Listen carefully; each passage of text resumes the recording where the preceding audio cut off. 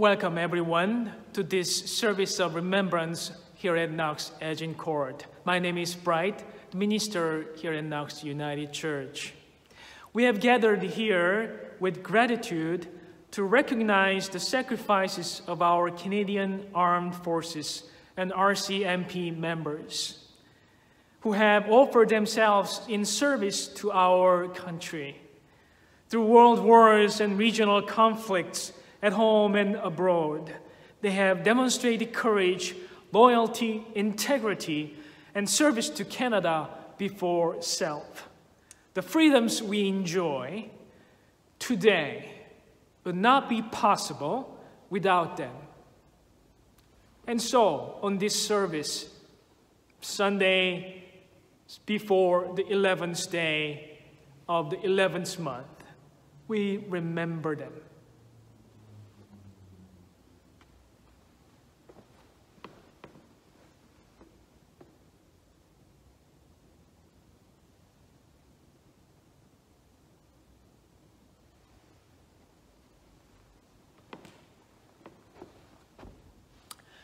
We also light the memorial candles today.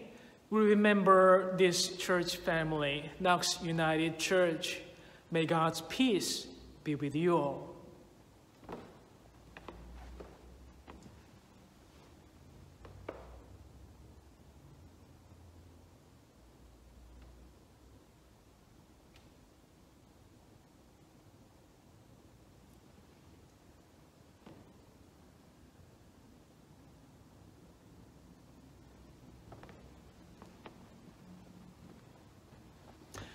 Please join with me in the call to worship. From east and west, north and south, we gather on this day of remembrance to give thanks and praise. We come to be inspired by the Word of God and honor the sacrifices of those who have committed themselves to service before self. In time of peace, in times of conflict and in times of uncertainty. We remember that we are not alone. We are the people of God connected across time and space, from generation to generation. We are united by the love of the one who said, No one has greater love than this, to lay down one's life for one's friends.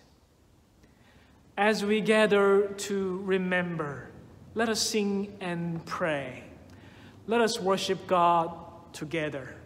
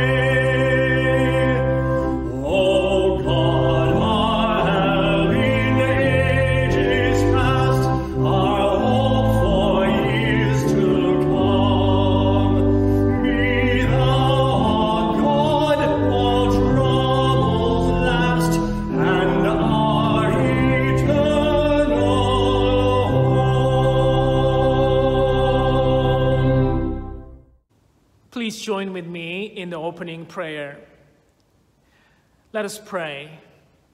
God of our past, present, and future, we have come to this place as a people of hope. We hope for a future without war and a world that lives together in peace. In years past and in the present day, members of our armed forces have put their lives at risk for this hope, with some paying the ultimate cost.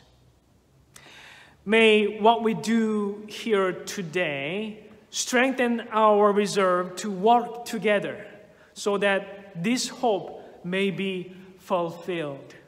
In Jesus' name we pray. Amen. Let us join our hearts and minds together and pray the Lord's Prayer in saying, Our Father, who art in heaven, hallowed be thy name. Thy kingdom come, thy will be done on earth as it is in heaven. Give us this day our daily bread, and forgive us our trespasses as we forgive those who trespass against us. And lead us not into temptation, but deliver us from evil.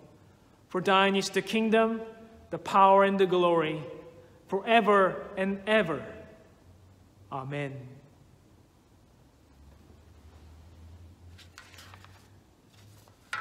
Let us hear the assurance of God's grace. God is just and forgiving. God receives us as we are, lifts us up, and calls us again to be people upholding justice and peace.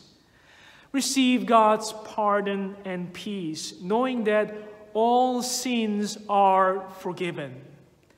Thanks be to God. Amen.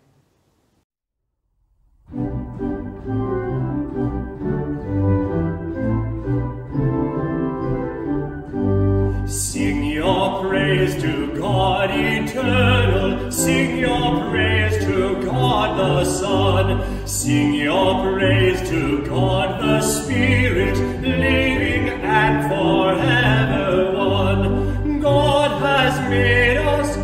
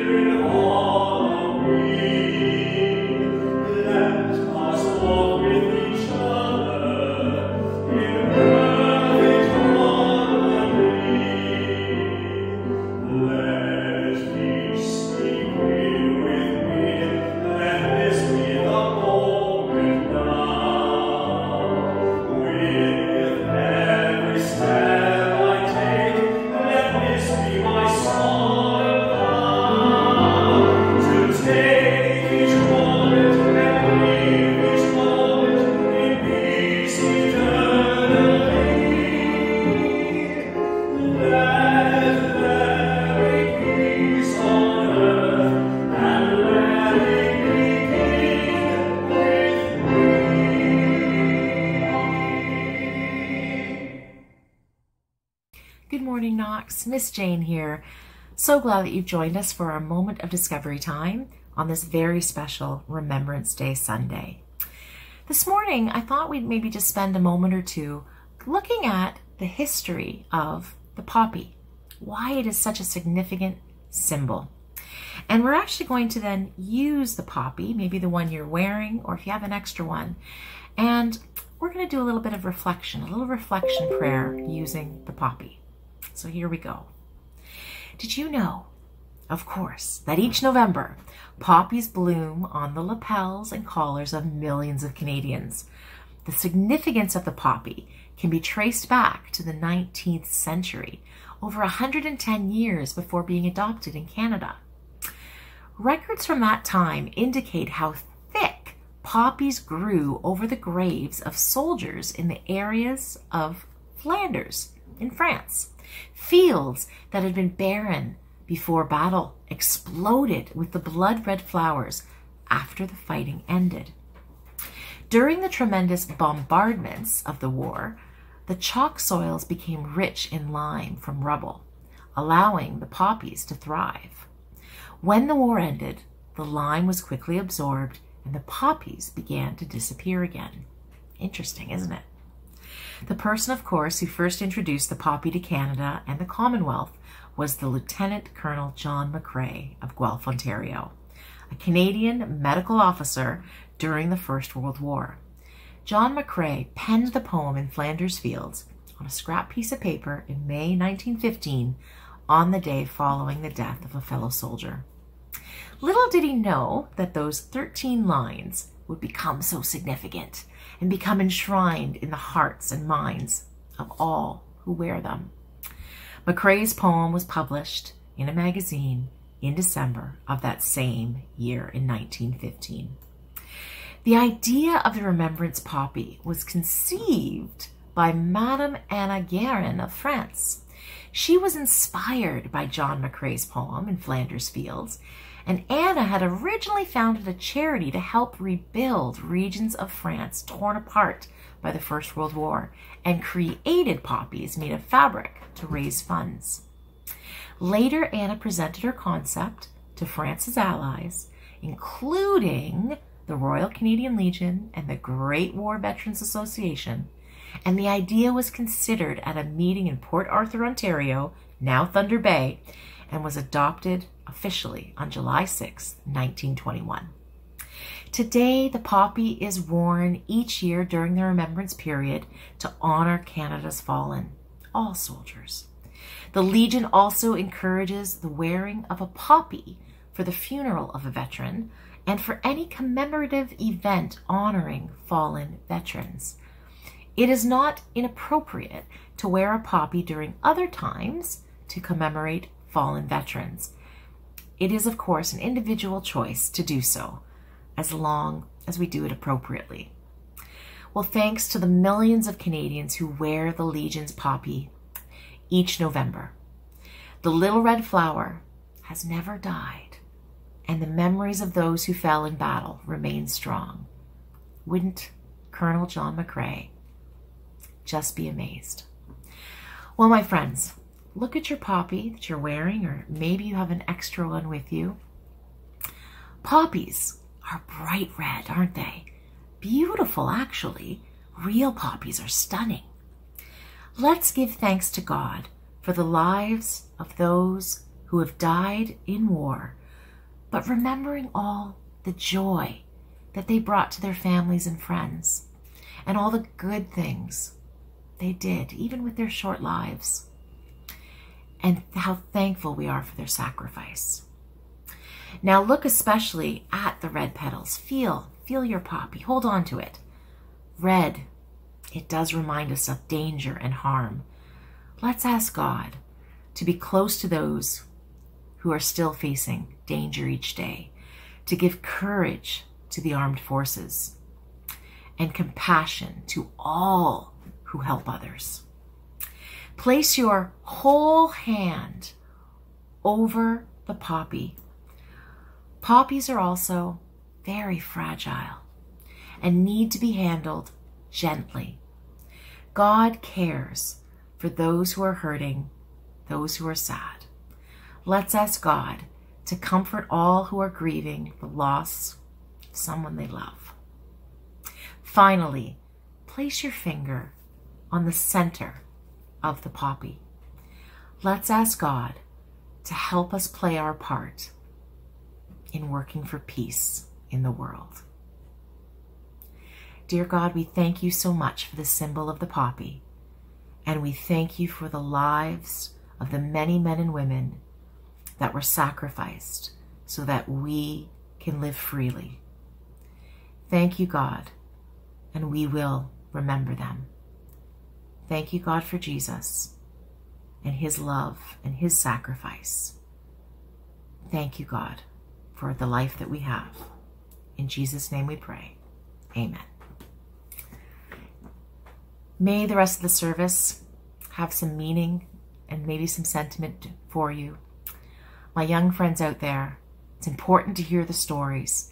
It's important for us to always remember. God bless.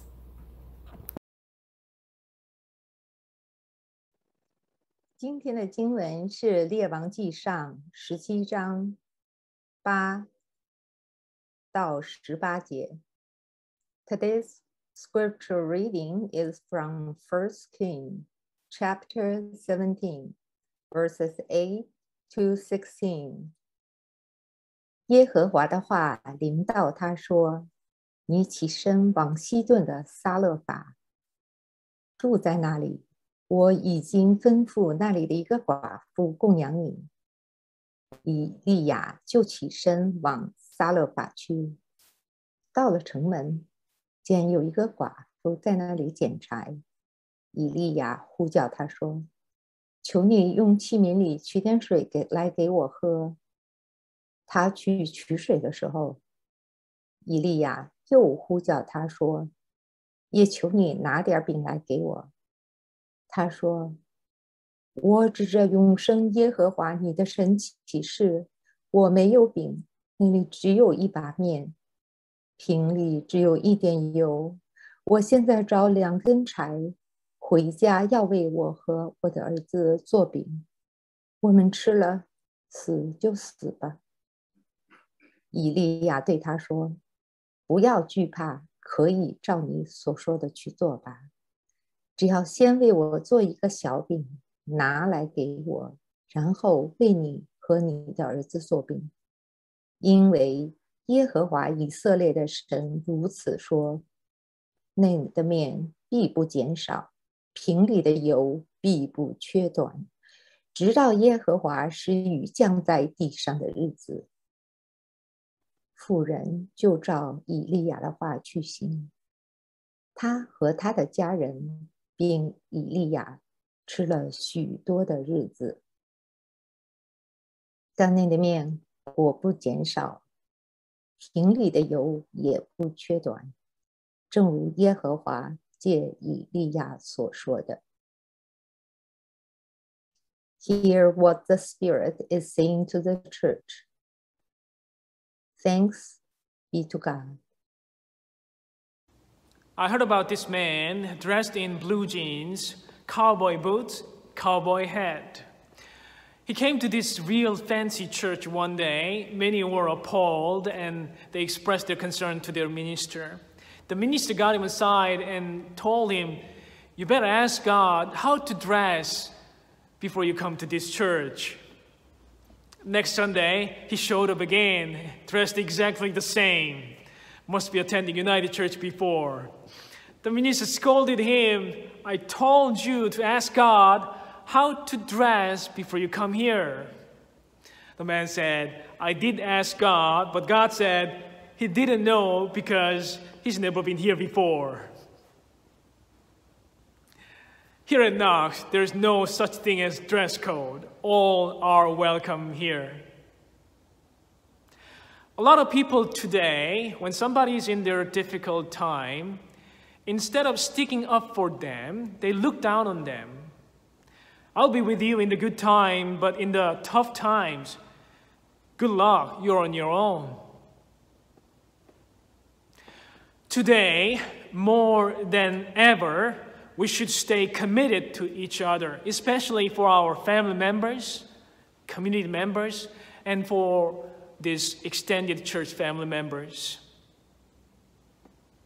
We may disagree occasionally, and I know no people are really compatible, but we have to learn to become one, making sacrifices, overlooking things. Instead of trying to force our opinion, which can cause tension, in our homes, in our relationships. We can choose to go with flow. Understanding there's no such thing as a perfect spouse, a perfect neighbor, perfect teacher, a perfect minister, although I'm quite close to that. In the Old Testament, the prophet Elijah, he was hiding himself by the place called Kerith Brook. Later on, the name is used as Jordan River, where Jesus began the public ministry. Many were coming against the prophet Elijah. God sent ravens to feed him physically, but it, the scripture says the water, the brook, dried up. Now, Elijah had to move to a different city called Zarephath. It is a city where, it is the city that the enemy's hometown. One bad break after another. Elijah, for sure, he was in a difficult time. But God said, I have commanded you a lady who's going to take care of you in that city. Elijah finally got the message from God. God was saying, I will stick with you through thick and thin. In a good time and in your bad time, I will be with you. Now, Elijah is at this woman's mercy, according to the story. But she only had a little. Elijah asked the food, and she attested, I don't have any bread, you're asking. I only have a, a, handful of flour in a jar and a little oil in a jar. That's all I have. And she went on to say, I'm gathering a few sticks to make the last meal for me and for my son. And she says, After we eat this food, then we may die. What do you do when you have little? What do you do when you can't see any sign of what you are believing for, any sign of improvement? What do you do when you have little? You're working hard, but the doors are not opening. You're praying, but the financial situation is not getting any improved. You're doing the right thing, but the relationship isn't getting any better. You only have a handful of flour in a jar and a little oil in a jug, so to speak. If we saw a little improvement just here and there, or if we just felt a little better, at least we would know, we would think that what I am doing, what you're doing was helping. But the point, one of the points the story here is making is that before any promises of God comes to pass, we go through a season of silence. We go through a season of dark time, disappointment, difficult time. Now, in that difficult time, Elijah was hiding himself. The woman had so little. God was using that difficult time, my point is we wonder is what I am doing is even working? Is my believing, my praying even making any difference? But just because we don't see anything improving, just because we don't see anything happening doesn't mean God is not working. Much of God's work is done in secret. The woman cannot see what's happening behind the scene. Elijah couldn't understand why he's going through what he's going through. Are you in a season of silence? Are you in a season of disappointment, difficult time? Or do you know anybody who is in a difficult time? My challenge is can you go sticking up for him or her? God, I may not see anything happening, followed by, but I'm not moved by what I see. I am moved by what I know, and I know you promised good. And what you promised is on the way. Little did she know, the widow, her son was going to become ill, and the little child is going to grow worse and worse, and finally, the little son stopped breathing at verse 17. It says, the scripture says, Don't get weary in well doing, for in due season you will reap if you faint not. But in reality, it's easy to get down when we are doing the best we can, but we continue to experience disappointment and difficult times. It's never gonna work out. My business is never gonna work out. The relationship broken is never gonna get restored. What am I gonna do? Have you ever gone through a season of silence? Have you ever experienced disappointment in your life? What do you do when you have little? If you read the scripture today, you may wonder why Elijah was hiding himself. He didn't do anything wrong in God's eyes. You may wonder why this woman has to share the little she had and she has to see her son dying. So little they had to share. Both are in difficult time, but they are the very source do you know God was using to do what God is up to.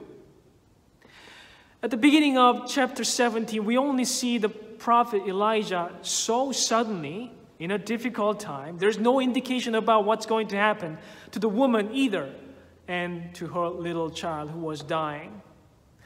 Some things have to develop in the dark time, in secret. If the story began like God is going to heal the sick at the beginning, if God showed us what God was up to at the beginning, which didn't happen, then, then it wouldn't be as difficult to believe, but that will not take any faith. When there, where there is no sign on the outside, we have to believe that what's on the inside is still alive. The faith, the promise of God is still alive. Even if we don't see any growth, even if we don't see any move, even if we don't see any signs of improvement yet, there is something in our faith DNA where we can believe when every circumstance tells it's not going to happen, God is still sticking up for us. We can be disappointed, but don't have to get discouraged. When everything we see is a handful of flour and a little oil in a jug,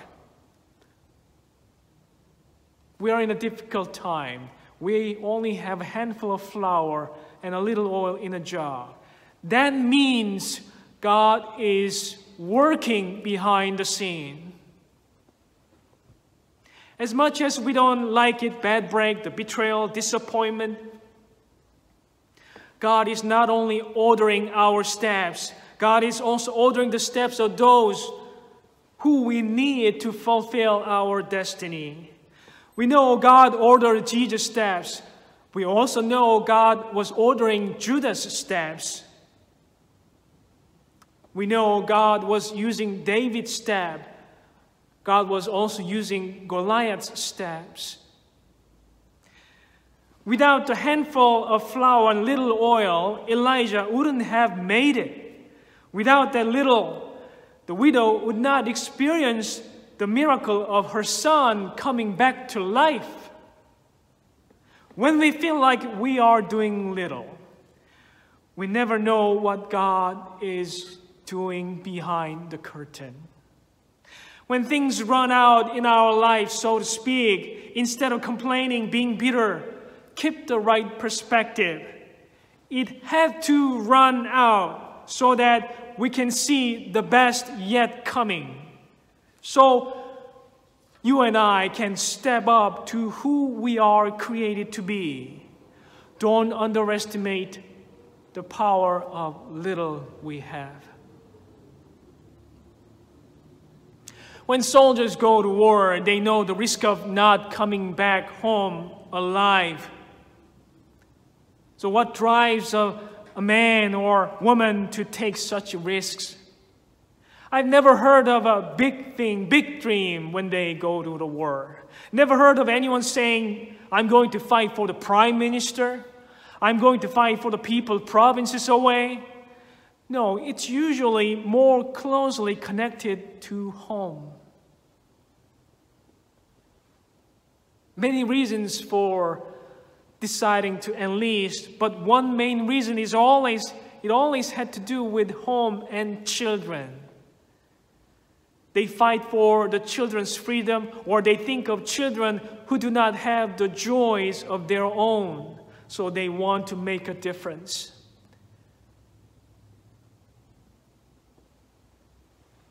Heard about this story. This Belgian stone, stone carver was making a huge monument for fallen Canadian soldiers because their remembrance is still relevant to their peace today. He says it's important to continue this story for our children.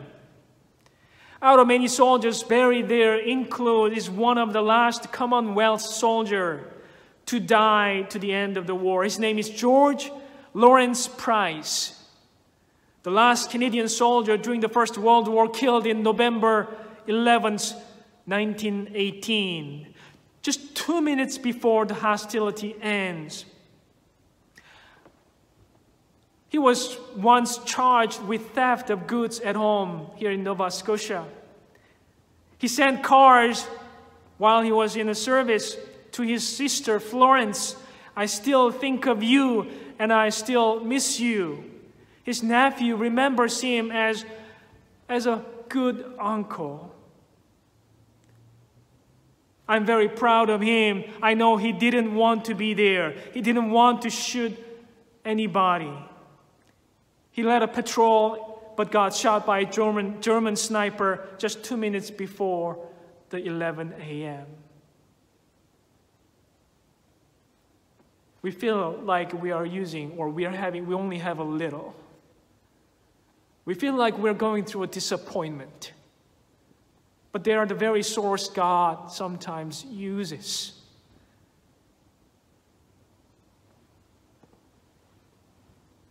Hundred years passed, yet the Belgian stone carver built a monument for George and many Canadian soldiers. They have a plaque, bridge, school named after George.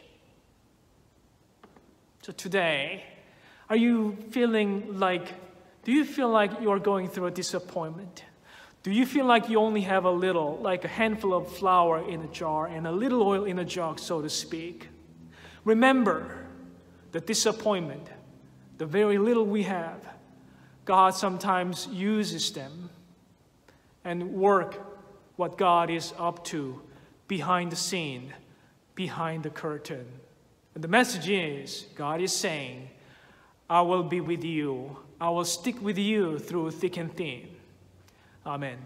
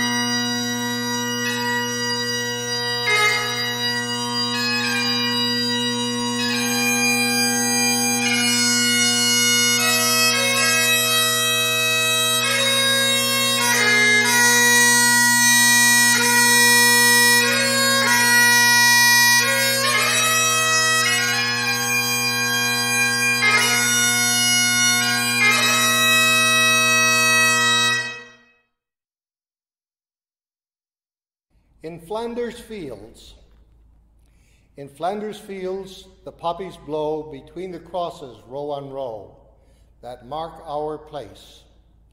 And in the sky, the larks, still bravely singing, fly scarce heard amid the guns below. We are the dead. Short days ago, we lived, felt dawn, saw sunset glow, loved, and were loved. And now we lie in Flanders fields. Take up our quarrel with the foe. To you, from failing hands, we throw the torch. Be yours to hold it high. If ye break faith with us who die, we shall not sleep, though poppies grow in Flanders fields.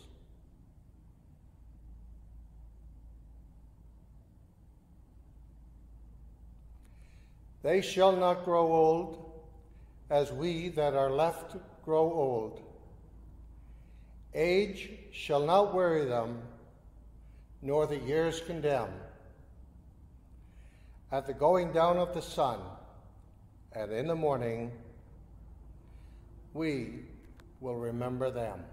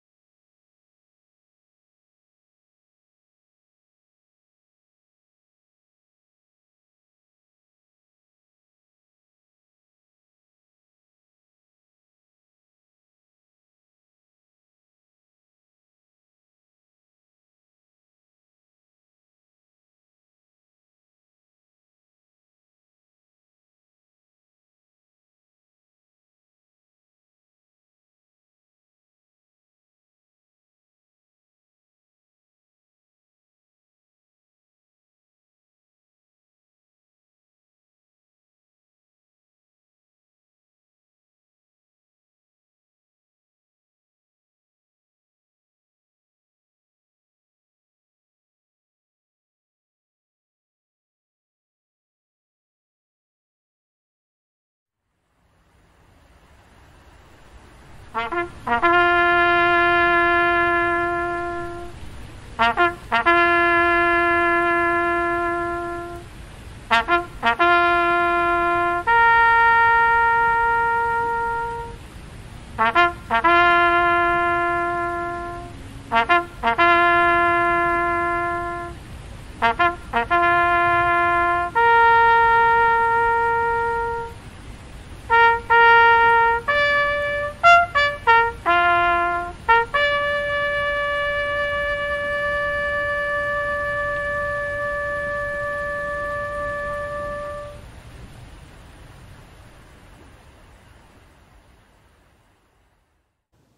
Now let us take this time to honor those who have dedicated their lives to serve our nation for the sake of peace.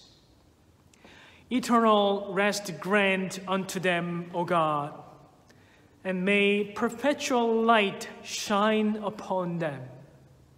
May the souls of the righteous, through your great mercy, rest in peace. Amen.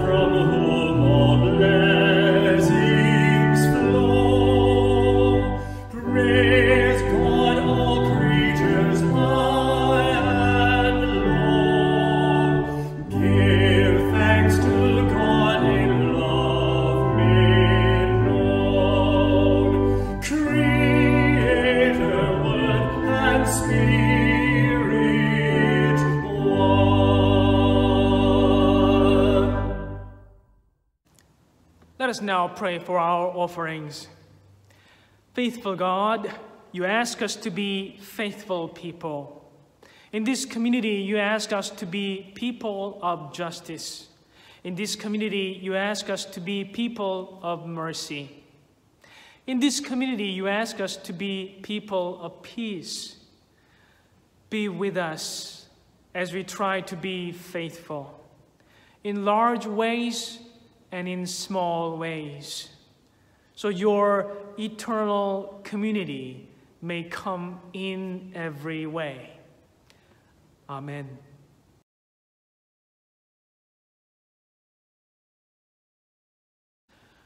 I invite all of you to join with me in the prayers of the people. We are grateful at heart that there was reconciliation amongst the nations of Europe. And for the work of reconciliation where its fruits are realized for many countries around the world. We are grateful for the inheritance of peace and justice that is ours, and that it is in our hands to pass it on. We pray for those for whom this is a time of pain and loss, for those for whom painful memories become fresh, for those far from loved ones, and for the loved ones who wait for them. We pray for those people who are in the many places in the world that are far from peaceful, who hear the sound of approaching war planes, to whom the shock of the bombs comes without warning, whose necessary activities are interrupted by gunfire and shelling, and whose children it is unsafe to continue their education. Lord Jesus, within those within whose experience it was to share in the daily life of human community, Strengthen those for whom every day things are struggle, for whom feeding their children does not come easily, for whom finding work seems like a lost cause, for whom having a secure roof over their heads would be a dream come true. Almighty God, we also offer prayers for those voices that have been silenced. We ask for your spirit of reconciliation to be near. We pray that there may be an end to bullying in schools, harassment in homes, workplaces, discriminatory laws and practices. May we learn the call to be bearers of peace and spread this vision through love and solidarity. In silence now, we offer concerns and prayers of our hearts, knowing you are always there to listen, even when we may not have the words.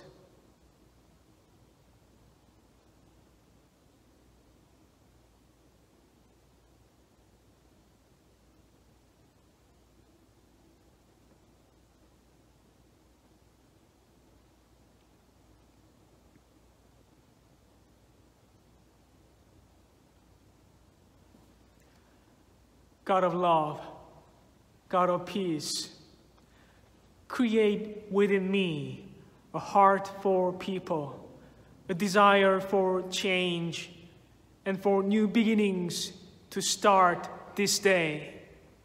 In Jesus' name we pray. Amen.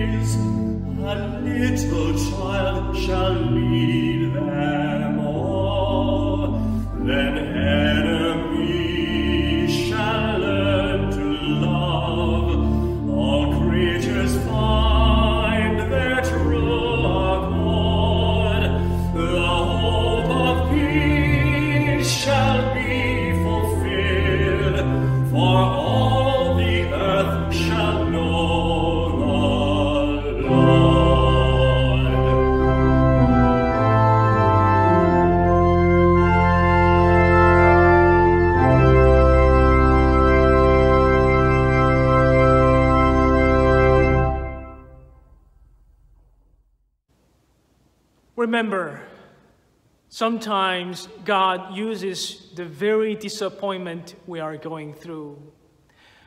God sometimes uses the very little thing we have to show what God is up to. May the grace of Lord Jesus Christ, love of God, and the communion of the Holy Spirit be with you all. Amen.